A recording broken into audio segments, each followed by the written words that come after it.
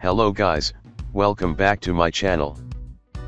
In this video I will show you how to set up and use Windows 11 without a Microsoft account. When you set up Windows 11 you are required to use a Microsoft account. As you can see, here you need to be connected to the internet to proceed with Windows 11 setup.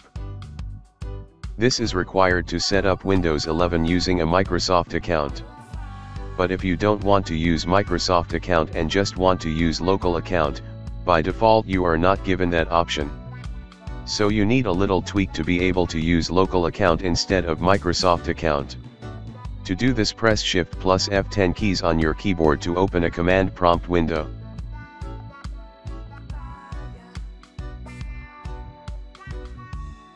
And now type the following command.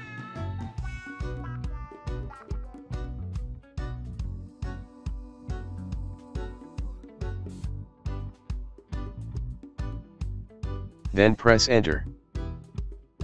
Now your PC will reboot automatically.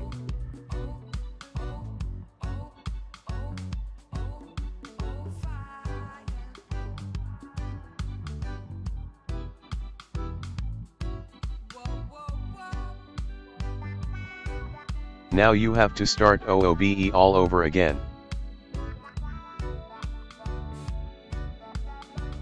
As you can see now there is a menu I don't have internet. Click this menu to create a local account.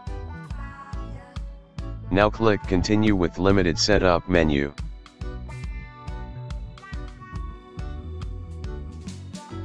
As you can see, now you can create a local account.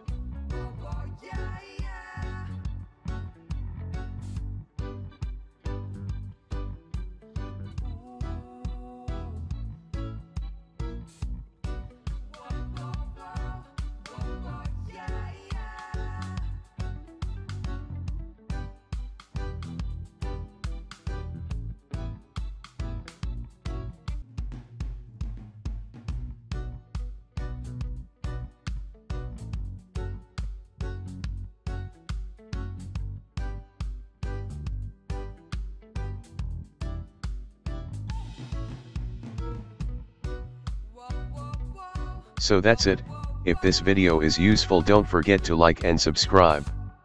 See you in the next video.